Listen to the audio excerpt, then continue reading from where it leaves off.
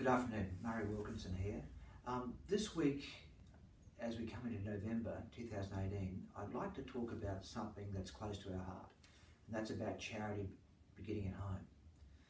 Specifically, clients of ours, long-term clients of ours, Andrew and Karen Weston, experienced a catastrophe in the last uh, month.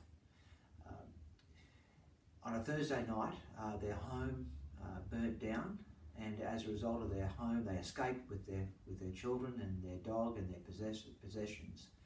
And as a result of that, um, the fireys arrived. They basically hosed the house down, and uh, at the end of it, um, they'd recovered some possessions, but essentially had lost the house that they had been in the process of renovating.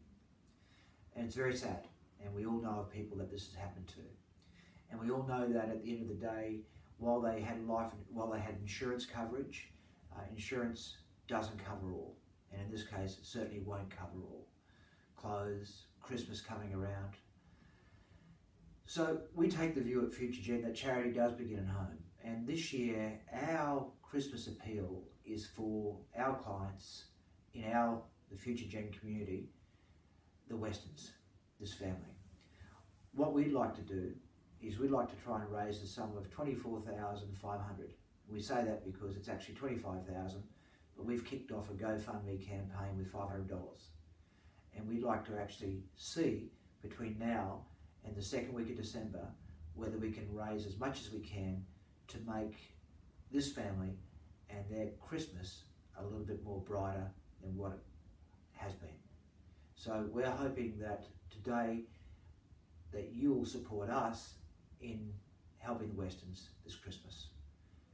That's our message, and um, we'll write to you and give you the details of where you can actually deposit money. And just on that, we've set up a bank account. I've set that bank account up with our company solicitor, Greg Rowell. He's a co-signatory.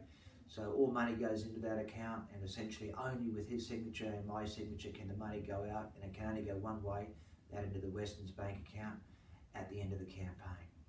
So if you'll help us in this campaign, we'd really appreciate it. Thank you.